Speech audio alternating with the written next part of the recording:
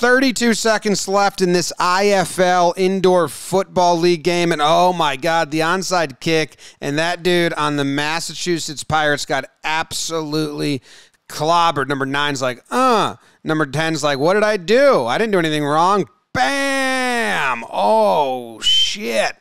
He's down. He's hurt. And now he's up and he's walking, and the, some little kid in the crowd is yelling, Ha ha, you got hit. Ha ha, O'Neill, you got hit. So he runs into the crowd and he's going to get into this little kid's face. And the woman's like, Hey, he's a kid. He's a kid. Fuck you. He's a kid. And the kid down there in the bottom left, that whole time, he kind of has his hands up and he's like, I'm not talking. Look, I'm not talking. I'm not talking. Maybe it wasn't even him.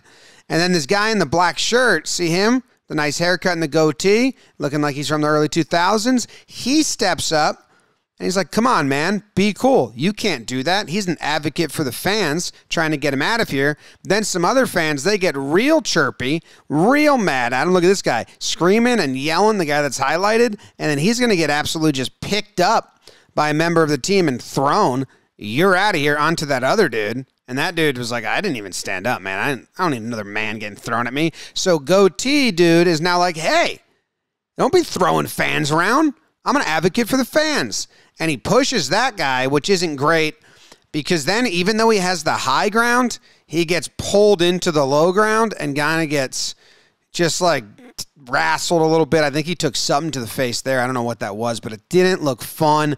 And he gets escorted out later on, like, come on, dude, come with us. Something's hurting him real bad. And then the actual, you know, scary, scary part is look at the bottom left corner. It's a a woman and two kids and she's just trying to protect them because the entire melee is going to happen above their heads in this brawl. Watch. Number 77 just jumps up. He's right in front of them now. See the kids on the left there? And then he's pulling people onto him. Meanwhile, the woman in the back is yelling, It's enough. It's enough. He's just a kid. And they're all pulling and screaming. And this is all taking place on top of that woman and her two kids. And they're scared shitless. You can see them right here, if you see my cursor, no, you can't, but right in the middle of that, you can see the one kid and he's just scared. Why wouldn't you be? Grown men fighting on top of your head. Really scary. This woman comes down and she goes, What happened? Thanks for watching. Subscribe if you enjoy.